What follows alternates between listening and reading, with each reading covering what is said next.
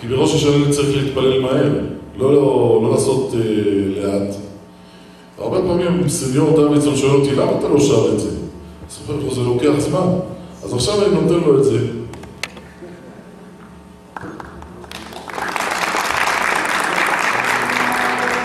Dice Hazán que hace muchos años cuando venía la primera vez, eh, lo cantó aquí cuando estaban abajo todavía, y él dice que ya muchos años no canta este, este parte porque dicen que hay que hacer más rápido los sesones.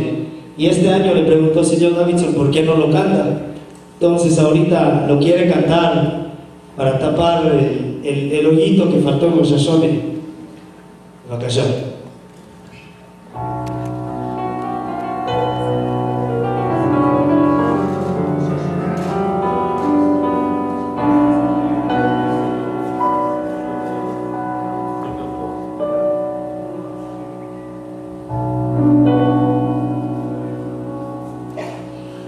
Lord.